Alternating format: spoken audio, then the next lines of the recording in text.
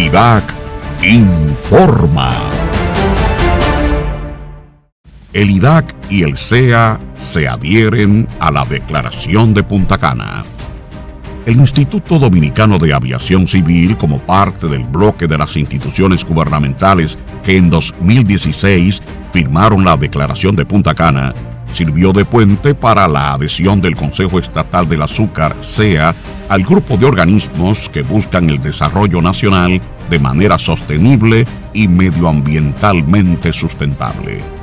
El acuerdo de adhesión establece que el CEA colaborará y se unirá al esfuerzo interinstitucional encaminado a lograr la concreción de las acciones descritas por la Declaración de Punta Cana para la implementación de una hoja de ruta para el desarrollo y uso de combustibles alternativos sostenibles para la aviación en la República Dominicana. Una producción de la Dirección de Comunicaciones y Relaciones Públicas del Instituto Dominicano de Aviación Civil, IDAC